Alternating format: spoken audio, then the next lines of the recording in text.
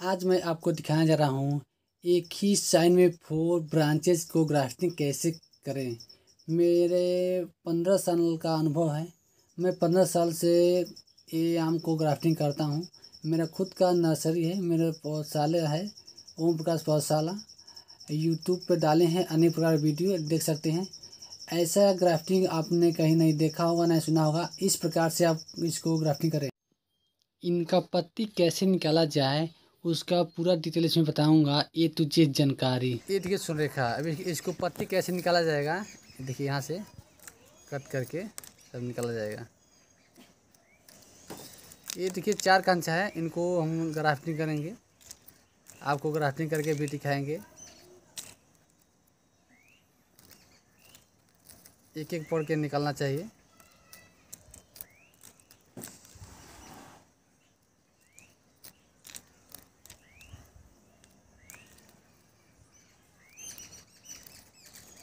ये देखिए, हमने तीन निकाल दिया है, अभी एक बाकी है।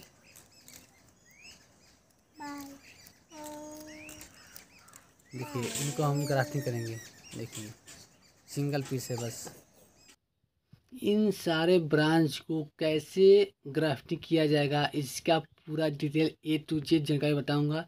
ये देखिए ग्राफ्टिंग कर रहे हैं ब्लेड से, धारेदार ब्लेड से न्यू ब्लेड से यह दोनों साइज़ समान काटना चाहिए। और इसको इतना बारीकी से काटें जो एक समान दोनों तरफ़ हो जाए। अब दिखा रहे हैं आपको, देखिए जूम करके। ये देखिए, दोनों साइड एक समान है। और आपको दिखा रहे हैं, देखिए, एक साल पुराना पौधा है। अभी मैं इसको भी ग्राफ्टिंग ब्लेड से काट के दिखा रहा हूँ। देखिए, आप इसको इतना अधिक काटे, बस एक इंच। एक इंच का देंगे और उसमें आप अच्छी तरह से लगा दें। दोनों साइन समान होना चाहिए, एक नीचे वाला, एक ऊपर वाला। समान होता है तो अच्छे से पकड़ लेते हैं।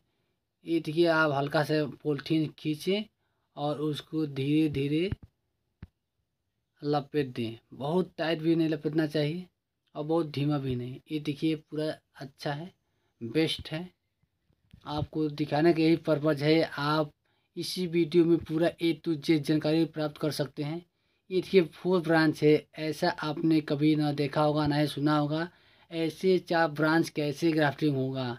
और सक्सेसफुल हंड्रेड परसेंट होंगे। ये देखिए, बीच से काटा जा रहा है। अब एक इंच काटे हैं इसमें ब्लेड से। अभी मैं इसको इसमें लगा के दिखा रहा हूँ। आप एक ग्राफ्टिंग से न समझ आए तो इसीलिए मैं दूसरा ग्राफ्टिंग करके आपको दिखा रहा हूँ। देखिए, दोनों साइड एक समान है। अभी मैं आपको, देखिए, अभी मैं इसको आपको बाँध के दिखाऊँगा कैसे बांधा जाता है और कितना अच्छे से बांधें ताकि पौधा न सड़े, न गले और अच्छा सा ग्रोथ हो जाए। ये देखिए फोर ब्रांच का ग्राफ्टिंग कर रहे हैं हम। इसमें भी देखिए one two three four branch है। इनको सबसे बेस्ट ग्रो होगा और इनको कैसे बनाए अच्छा जाए ताकि वह एक भी बद मरे ना। जो फोर ब्रांच है, यानी चार ब्रांच है, वो आसानी से सब ग्रो हो जाए। अभी मैं आपको दिखाऊँगा, इसमें पोलथीन जो है, चारों ब्रांच को आपस में इस पॉलीथीन थैले कैप में आप उसको डाल के आप उसको अच्छी तरह से पैक कर दें, जो कि हवा उसमें नमी बनाए रखे और टेम्परेचर से उसमें वास्पिंग होगा तो वो नमी बनी रहेगी तो आपका ग्रोथ अच्छा होगा। आप मेरे वीडियो से संतुष्ट हैं तो लाइक करें सब्सक्राइब करें।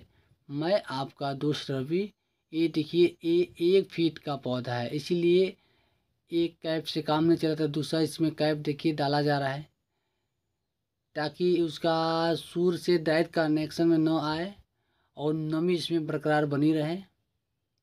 ये देखिए, हमने इसको अच्छी तरह से लगा दी है। देखिए, एक फीट का हाइट है। आप ऐसा कभी ना देखेंगे, ना ही सुने होंगे। अभी मैं आपको दिखा रहा हूँ, इसका देखिए कैसे अच्छी तरह से ग्रोथ हुआ है। आप देखेंगे तो यकीन नहीं कर पाएँगे, लेकिन आपको दिखा रहे देखिए। देखिए फोर ब्रांच है ना, एक, दो, तीन, चार। कितना अच्छा ग्रो हो गया है। कितना फूल जैसे जैसे लगता है खिला हुआ फूल है वो। ये देखिए, जो हमने ग्राफ्टिंग किया था, वो पकड़ लिया है। ये देखिए पोलथीन अभी पैक है। जब ये जो पन, जो पनका है, तीन स्टेप हो जाए तो उसको पोल्ट्री करना चाहिए। ये देखिए, एक, दो, तीन, चार। इसमें भी फोर ब्रांच हैं। देखिए, कितना सुंदर और अच्छा है। आप मेरे चैनल पर नए हैं तो लाइक करें सब्सक्राइब करें। इस वीडियो को अधिक से अधिक आप शेयर करें। मैं आपका दोस्त रवि, ये भाई, मैं बहुत परिश्रम से ये वीडियो बनाता हूँ, आपको दिखाता हूँ। आपको आम में चार ब्रांच फाइव ब्रांच हो तो इस प्रकार से आप ग्राफ्टिंग करेंगे। हंड्रेड परसेंट रिज़ल्ट आपको सामने आएगा। आप इस वीडियो से संतुष्ट अवश्य होंगे। आपसे निवेदन है, मेरे वीडियो को अधिक से अधिक शेयर करें लाइक करें सब्सक्राइब करें। प्लीज़